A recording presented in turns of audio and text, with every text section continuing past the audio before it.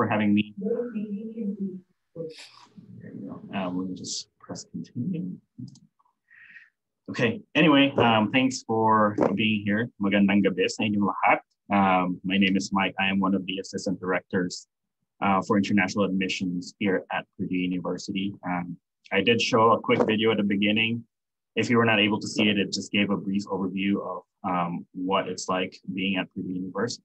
Um, but with that being said, I am going to go ahead and go on with a quick presentation. I'm pretty sure we're going to have a lot of time at the end uh, for questions, so please do save um, your questions. Um, so Purdue University is located in West Lafayette, Indiana. Um, so we are we are a true-born college town. We are about two hours south of Chicago and an hour north of Indianapolis. Um, we are part of the Greater Lafayette area. So we Greater Lafayette is uh, divided into two, so Lafayette and West Lafayette.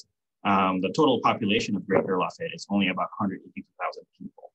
Um, so that's, uh, we, we are really a small town. Um, so if you are looking for that um, college town feel, then Purdue University would be a great uh, fit for you. Like I said, uh, we are is quite like a compact campus. It takes about uh, 15 to 20 minutes to walk from um, one end of campus to the other. Um, we do have our very own airport, so that's excluding the airport. It can take up to 30 minutes to walk um, to the airport, but we do have our very own airport here at Purdue University. Um, and if you don't like walking, you're more than welcome to use a bike around campus. Uh, we do have a free bus uh, system that is offered to all, all Purdue students and staff. So um, basically, you can go anywhere um, over here at Purdue, and you can even use the bus to go to downtown Lafayette. Um, we are an undergraduate university, so the majority of our students study in the undergraduate level, but we also have graduate uh, students as well. Um, you know, if you compare the 180,000 population in greater Lafayette area, our total enrollment here at Purdue is almost 45,000 students. Um, so when the students come here, um, a huge chunk of the population of the uh, West Lafayette area is actually Purdue students. Um, so, which is great um, with that college town feel. Our average class size is 31. Our student to faculty ratio is 13 to 1. Um, I can talk a little bit about the average class size. I am a Purdue alumni and I was an international student here uh, as well. I was I'm from the Philippines, so if you see that, notice that. Um, so my sophomore year, my biggest class was uh, about 300 students, and um, my smallest class in junior year was seven.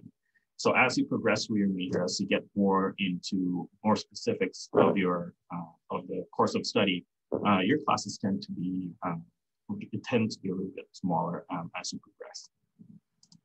Um, not only are we an undergraduate university, we're also an international university. About 20% of our total uh, student enrollment um, are international students, uh, with about uh, 9,000 total international students on campus and 125 plus countries represented.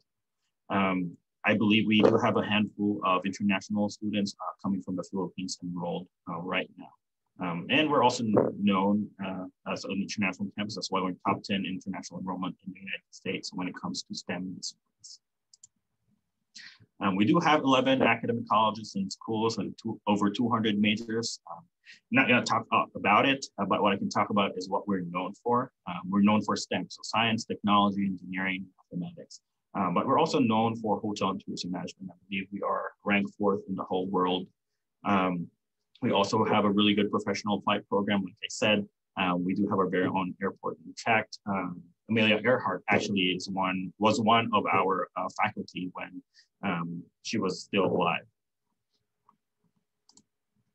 Um, here are sort of our rankings at Purdue. Um, you know, as an admissions counselor, I always remind the students that, you know, at the end of the day, it's not all about rankings, but more about fit you know, we want you to enjoy your time in college. And if you are in a rank one school and you don't enjoy your time there, four years can be a very long time.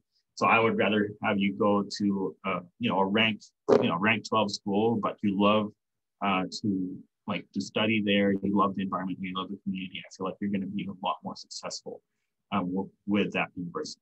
However, it is part of my job to talk about um, this these things, and so uh, we are known as a cradle of astronauts. Um, uh, we have 24 astronauts who are alumni. This includes Neil Armstrong, the first person to walk on the moon, as well as Eugene Cernan, um, the latest person to walk on the moon. Um, actually, that's not 24 anymore. It's 26 now after the Virgin Galactic um, uh, trip that they did a few weeks back. Two of uh, people that were there are Purdue alumni as well. Um, we're top 10 public university in the United States. Uh, we do have um, study abroad options. So I know as an international student, you're technically studying abroad already, but that shouldn't stop you from taking advantage of our study abroad options. Uh, we are a tier one research university, so um, a lot of our students actually do research, um, even though you're an undergraduate. So you don't have to be a graduate student to be doing research. Um, and it's it's fairly easy to get into research. You just speak to the professor. Um, obviously, you want to work in a research lab where you're very interested at, um, and typically professors have their emails out. and a lot of the students actually uh, partake research uh, with the professor that is teaching their class. Um, so just make those connections as early as you can. Um, and hopefully as a professor, you may be able to do um, research with, with that professor. Um, Purdue has established our first, uh, first ever computer science department in the US. So we are known for computer science. Um, like I said, number two aviation program. So there are a lot of rankings over there. I'm not going to go through all of it, um, but just know that Purdue is known for STEM. Um, we do have 17 residence halls on campus. Uh, we don't require students to live on campus. So, you know, if you want to save money, things like that, um, you can live off campus, but obviously, you know, at least your first year, I would highly encourage that you live on campus. It's a great way for you to get integrated and acclimated into uh, the new environment in. Um, we do have dining courts as well, um, and they are located, strategically located, um, really close to the residence hall, so you don't have to walk too far um, to get food.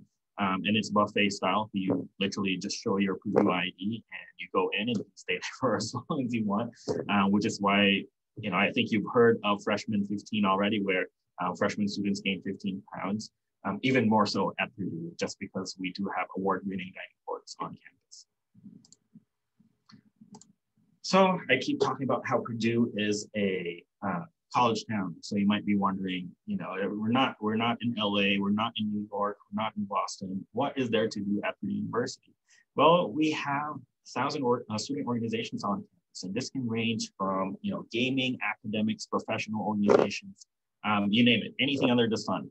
Um, we even have a pet a puppy organization, and as you can guess, so that's what they do. They just pet puppies. Um, so definitely uh, take a look um, if you do end up coming here. And if there's an organization that you thought was there, but it it isn't, um, you only really need yourself and three other people, and you can start your own organization. And with the 45,000 students on campus, there's bound to be other people that would be interested. Um, we also have five cultural centers on campus uh, and more than 30 clubs. So intramural teams are very big. We are a Division One um, uh, Division One athletic. We're part of the Big Ten, so uh, college sports is is a big thing um, over here.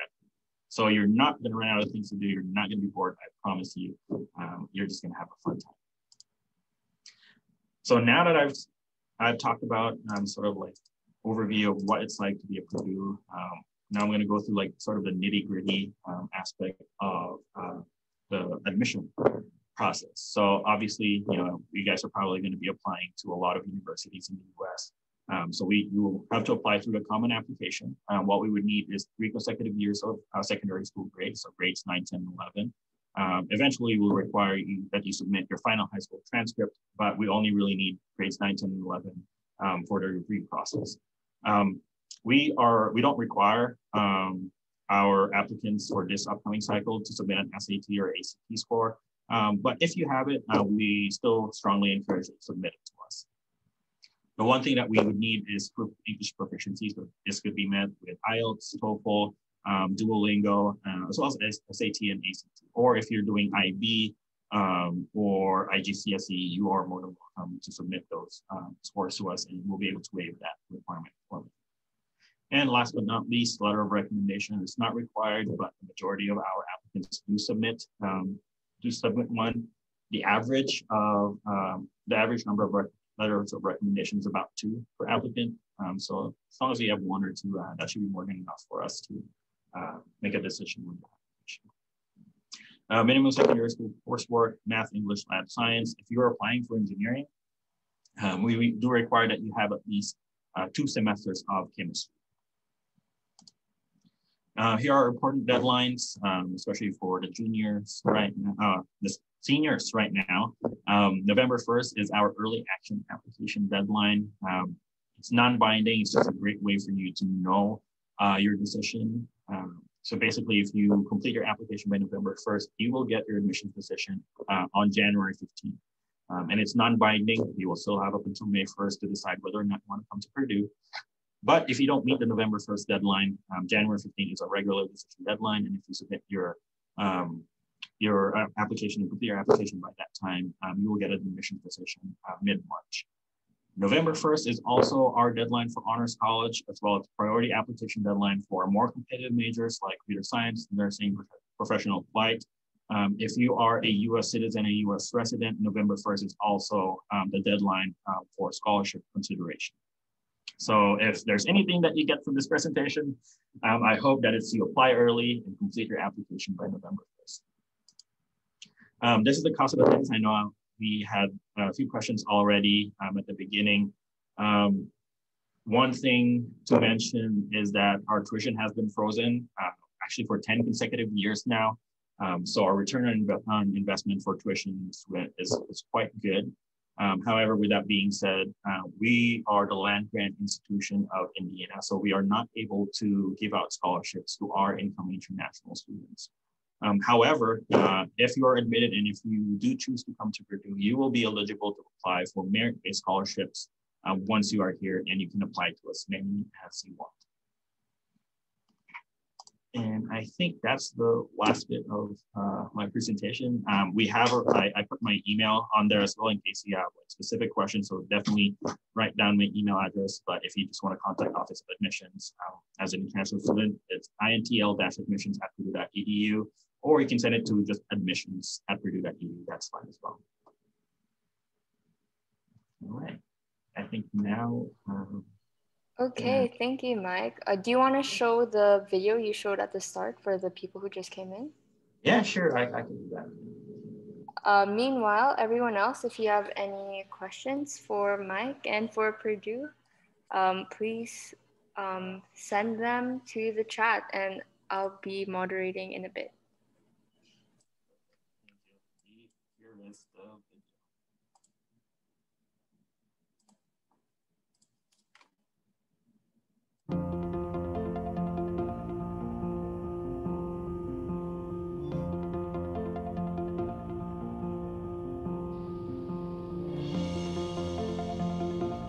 When we talk about our best moments, they include humanity's first steps on the moon.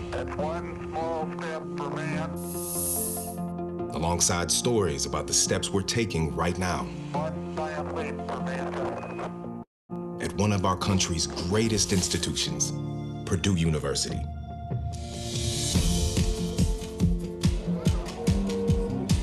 Beauty, highlighted by brick.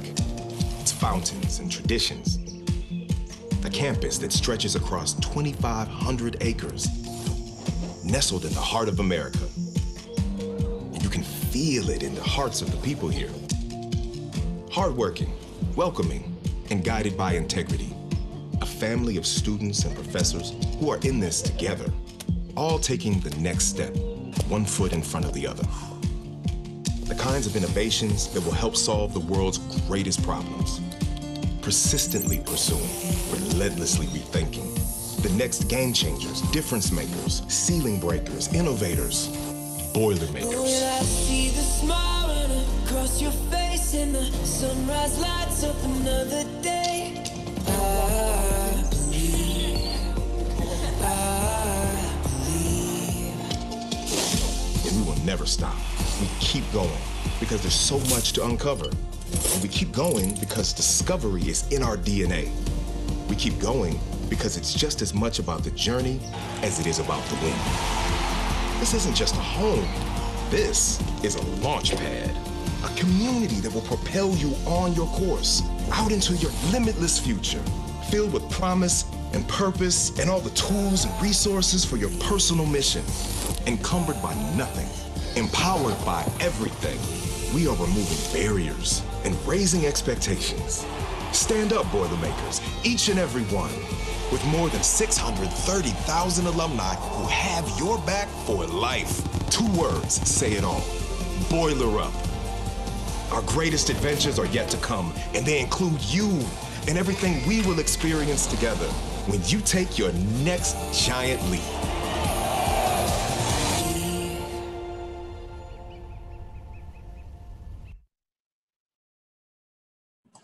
So really, if that video didn't hype you up for Purdue,